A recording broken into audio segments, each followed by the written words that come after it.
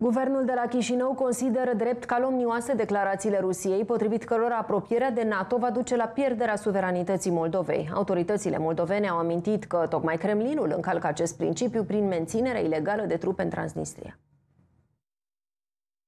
Ministerul Afacerilor Externe și Integrării al Republicii Moldova a calificat drept false ultimele declarații ale purtătoarei de cuvânt a ministrului rus de externe, Maria Zaharova, față de apropierea Chișinăului de NATO. Totodată a reafirmat dreptul statului moldovean de a-și decide propria traiectorie în politica externă. Relațiile Republicii Moldova cu diverse organizații internaționale, inclusiv cu NATO, reprezintă decizia suverană și independentă a Republicii noastre. Referitor la parteneriatul Republica Moldova-NATO, acesta are deja o istorie de 30 de ani, fiind orientat spre dezvoltarea capacității capacităților de contracarare a noilor provocări complexe și asigurarea securității cetățenilor și a statului nostru. Totodată, Chișinăul a atras atenția autorităților de la Kremlin că neutralitatea Republicii Moldova nu înseamnă autoizolare. Autoritățile moldovene au astfel dreptul de a dezvolta parteneriate cu acele organizații și state care susțin și contribuie la menținerea păcii și securității în țară. Anterior, la summitul NATO de la Vilnius din 11 iulie, Alianța Nord-Atlantică și-a reiterat sprijinul pentru integritatea teritorială, suveranitatea, independența și respectarea statutului de neutralitate al Republicii Moldova. De asemenea, statele NATO au declarat că sprijină dreptul suveran al Republicii Moldova de a-și alege modelul de dezvoltare, cursul de politică externă și de a-și decide viitorul fără ingerințe din exterior. Ministerul a mai subliniat că tocmai Rusia este cea care nu respectă Constituția Republicii Moldova și menține ilegal trupe militare pe teritoriul acesteia în Transnistria. În aceeași ordine de idei, sugerăm reprezentantei oficiale a Ministerului Afacerilor Externe al Rusiei să citească integral articolul 11 din